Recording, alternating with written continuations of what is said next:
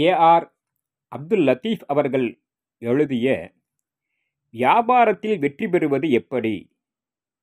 என்ற புத்தகம் A R Hidayatullah அவர்களின் முன்முயற்சியில் குரல் வடிவம் பெறுகிறது.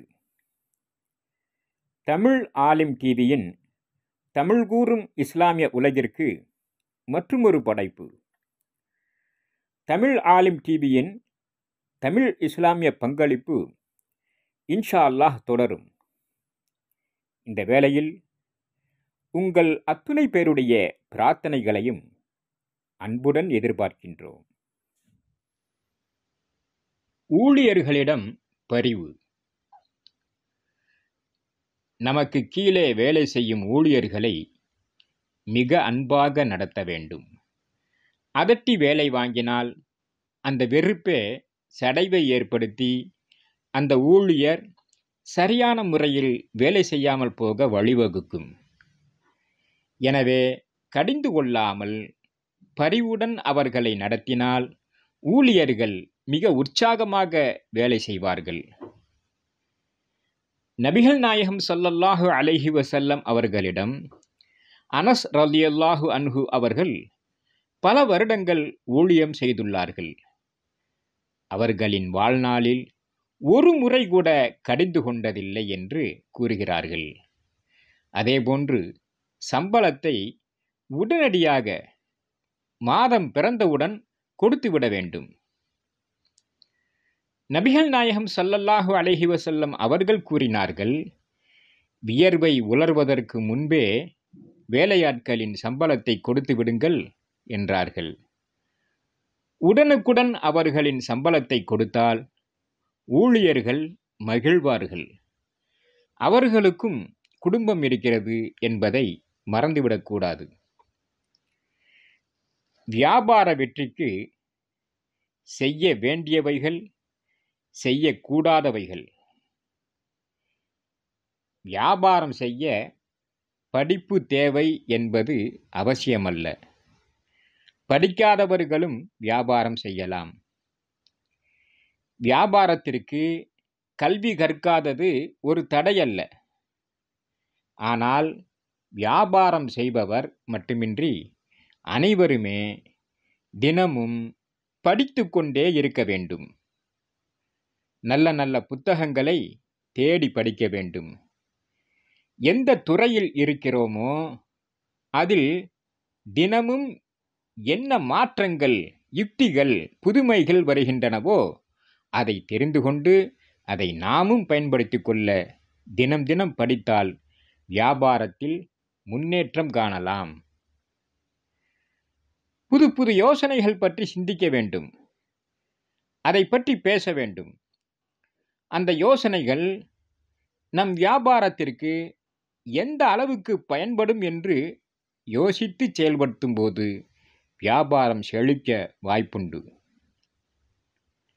வியாபார விஷயத்தில் ஒத்துழைக்கக்கூடிய ஊழியம் செய்யக்கூடிய அனைவரையும் அடிக்கடி பாராட்டி கொண்டே இருங்கள்.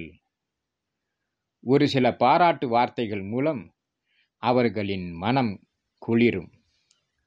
ஊழியர்கள் மற்றும் நம்மை சுற்றி உள்ளவர்களை நாம் பாராட்டும்போது சந்தோஷப்படுத்தும்போது அவர்கள் மூலம் நமக்கும் நம் வியாபாரத்திற்கும் நன்மையே விளையும்.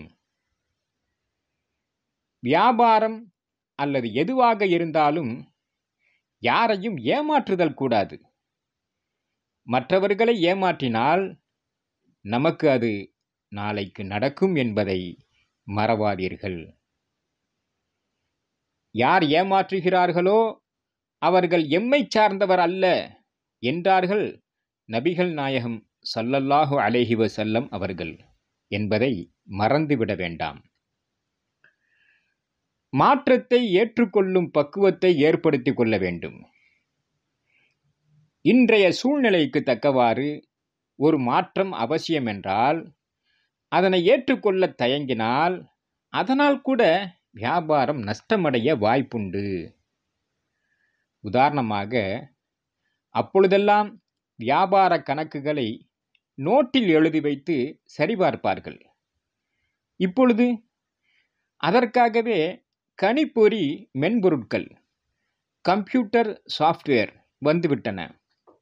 அதுவும் ஒரு புதுமைதான். அதை நாம் பயன்படுத்தினால் ஒரு தட்டில் எல்லா வரவு செலவுகளும் நம் முன்னே இருக்கும். இதனால் நேரம் மிக மிக மிச்சமாகும்.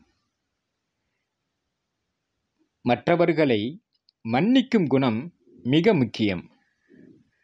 ஒரு வியாபாரிக்கே அவசியம். நம்முடைய வேலையாட்கள் அல்லது வாடிக்கையாளர் மூலம் ஏதாவது ஒரு சங்கடம் நேரலாம். அதனால் ஆத்திரம் வரலாம். இந்த நேரத்தில் வரும் ஆத்திரத்தை பொறுத்து கொண்டு மன்னித்து விட்டால் இனி அவர்கள் மீண்டும் சங்கடம் தர வெட்கப்படுவார்கள். ஆலோசனைகளை மதியுங்கள். அதன் மூலம் தினம் கற்றுக்கொண்டே இருக்கலாம். எந்த யோசனைகளையும் புறந்தள்ளி விடாமல் அதை அசை போட்டுக்கொண்டே இருங்கள். சரியான சந்தர்ப்பம் அமையும் போது அதை அமுல்படுத்தி விடுங்கள். அடுத்து தோல்விகளுக்கு பிறரை பொறுப்பு சாட்டி குற்றவாளி கூண்டில் நிறுத்தி அவர்களை அவமானப்படுத்துவதை விட கிடைத்த தோல்விகளுக்கு நாமே பொறுப்பேற்று இதில் சம்பந்தப்பட்டவர்களையும் அழைத்து பேசி இனி அவ்வாறு நடக்காமல் இருக்க நாம் முயற்சிக்க வேண்டும். இப்படி நடந்து கொள்ளும்போது சம்பந்தப்பட்ட நபர்கள் இனி ஜாக்கிரதையாக இருந்து தோல்வி ஏற்படாமல் இருக்க முயற்சிப்பார்கள்.